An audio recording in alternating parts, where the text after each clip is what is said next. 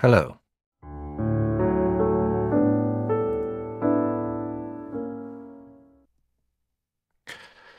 Delays in court are long, unfortunately, especially in Montreal, uh, in Quebec City. So there are ways that the legislator tries mm, to deal with that. The legislator tries to impose strict limits on uh, the time the case should be dealt with by the parties, by the lawyers. And one of those uh, strict limits is six year, uh, six months for uh, the trial preparation. Uh, meaning that from the moment, and there is a point here from what moment, but from the certain moment when the court case is deemed to have started, uh, the parties have six months. If they want more, they have to apply uh, for the court's authorization. Uh, but normally they have six months to prepare and then uh, ask to set a date for the trial. If they fail to do so, then uh, the plaintiff, the party in attack, in demand, uh, is deemed to have just withdrawn, uh, to just put it bluntly, uh, as if there was no case from the beginning. But, of course, uh, this is drastic. sometimes, uh, because of that, the prescription, the limitation period is already over, and the party cannot reinitiate the case from the beginning, because very often the prescription period is just three years, and uh, it's possible that the party has initiated his or her case just at the very last moment. So now, if the case is abandoned, that prescription period uh, has run through, and uh, there is no way to reinitiate. So sometimes it's not just an inconvenience. Sometimes this Article 177 basically bars the party from going back to court because of the fact that this uh, deadline was missed. Uh, but as you can see, there is a point because we are talking about an impossibility to act. So uh, clearly, there might be a situation when somebody was uh, in a hospital and just not necessarily in a coma, but actually could not act. Because again, the courts say that mm, it's not about absolute impossibility to act, it's like about relative impossibility to act. Uh, basically, it means that if you miss the deadline, you'll have to convince the judge that your situation was an impossibility to act in fact, impossibility in fact. It's not that you thought that it would be inconvenient. It's not that you uh, didn't like, but in fact, you couldn't act faster.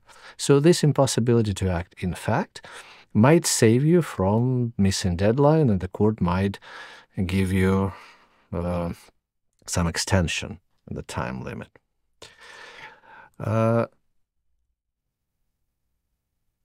it is an important thing uh, because sometimes you miss the deadline not because you actually was in a hospital or something like that or couldn't get back to the country, uh, but because your lawyer uh, miscalculated.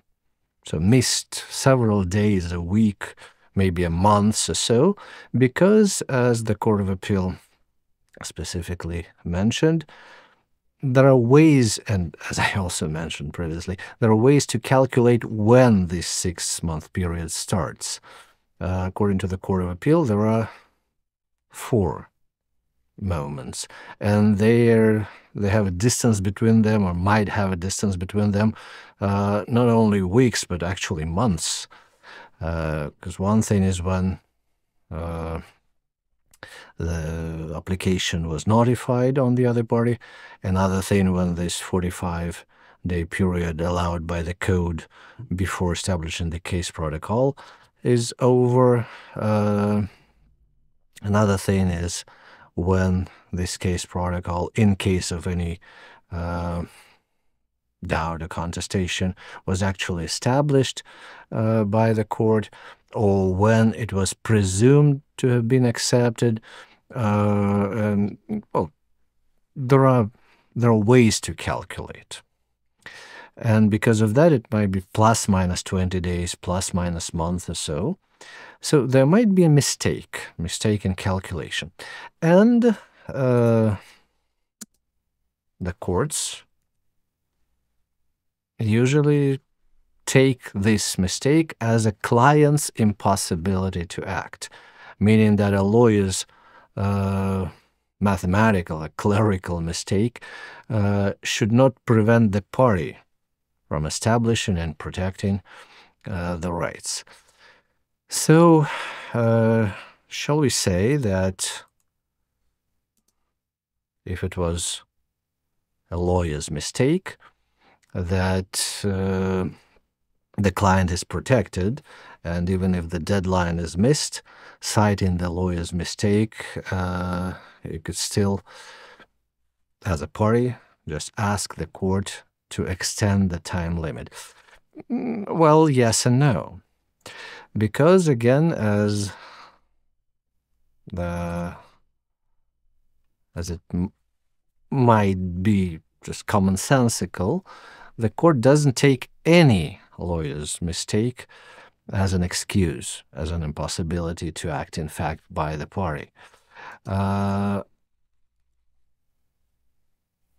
the idea is that if it was an honest mistake, actually mistake of calculation really, then yes, uh, the party should not be de deprived from its right.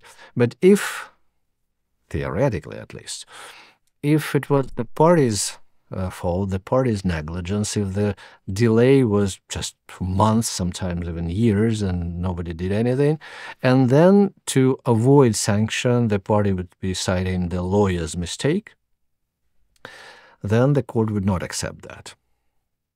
Or if it was an actual lawyer's fault, actual lawyer's negligence, not a simple miscalculation, but negligence.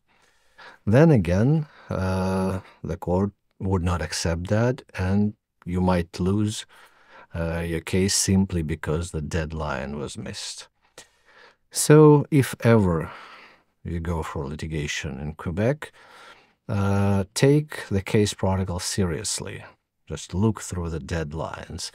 And uh, however much you trust your lawyer, at least keep an eye on the deadlines and uh, verify if your lawyer, maybe like very much busy lawyer, uh, does not miss those deadlines, at least not as far as it could not be rectified as a simple mistake. Because uh, again, even if you have a lawyer and if it's true that your lawyer is very much responsible for what's going on, having no communication, having like no questions asked might be seen by a judge as your own negligence, and that might destroy your case. So this is it. Uh, a lawyer's mistake can be seen as the client's impossibility to act in fact and can save the day, uh, but not always. Thank you and have a nice day.